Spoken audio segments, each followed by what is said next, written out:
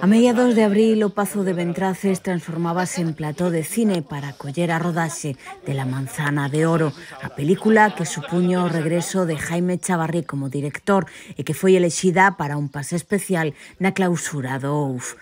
O cineasta destacaba na súa presentación o bo ambiente, o trato recibido e a calidade dos actores e actrices galegas. Luego, por todas las partes de los actores gallegos, yo sabía que eran muy buenos, pero no había trabajado con ellos. Ha sido muy satisfactorio. Hemos hecho un gran descubrimiento, aquí el señor Valis, que era la primera, su primera experiencia seria cinematográfica, y luego pues algún clásico como Elena Seijo, que, que os voy a contar, pero que en cuanto la vi dije, esta es mi monja. Esta es mi monja. Luego, luego ya he visto que no, pero por lo menos en el rodaje ya era... era y bueno, gente como, como Mela Casal, ¿cómo se llama el señor mayor? Celso Bugallo, que era una, una especie de eh, elemento eh, mítico en la película. Y en general todo el equipo gallego, tanto el sonido como el arte, como la producción, ha sido una, una, una verdadera maravilla. Ha sido una maravilla rodar aquí. La Manzana de Oro é un dos filmes apoiados pola Deputación. Ourense pasa a quedar reflectida na filmografía de Chavarri.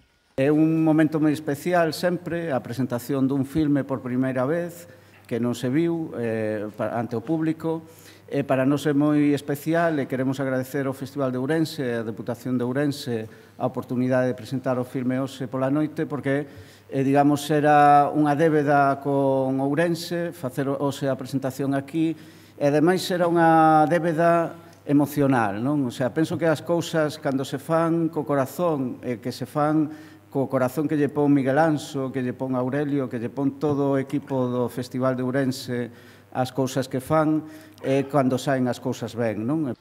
Adrián Lastra é un dos protagonistas, fala dun guión moi complicado, todo un reto para él. Un guión moi coral, moitos personajes, muchas historias, mm, eh, muchas eh, cosas oscuras que tenían esos personajes dentro de un tono de comedia. Entonces tengo muchas ganas de, de ver qué es lo que hemos hecho. Siempre Bueno, cuando haces, haces una película, haces una serie de televisión, te da igual lo que tú estés haciendo delante de una cámara o en el set de rodaje, porque luego lo que se planta en la pantalla, pues eh, depende mucho del director, del montador. Entonces tengo, tengo mucha curiosidad eh, de ver esto. Abel Ovalis, o máis xoven, debuta no cinema por todo alto, algo que nunca imaginara.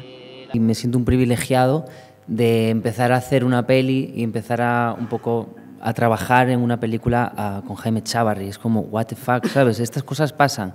¿Sabes? Estaba antes en la masterclass, que vino un ratito antes, y estaba viendo la peña y decía, hostia, tío, hasta hace poco era como, esto era imposible hacer una película, ¿sabes? Yo nací en un pueblo que se llama Rivadavia y hay personajes ilustres en Rivadavia como Ernesto Chao, eh, in Peace, pero era como, yo no puedo hacer una película ni de coña.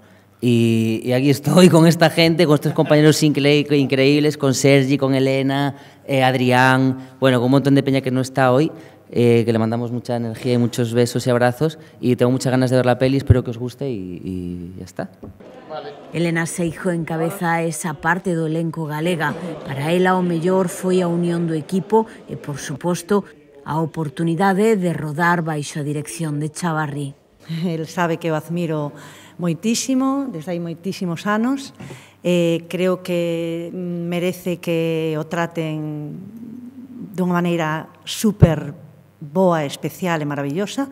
E fora deso, eh, realmente decir que todo o equipo, tanto, como decían eles, non tanto técnico como artístico, foi unha gozada, é unha cousa, cousa que se di moitas veces, pero que, que neste caso é certa. Non?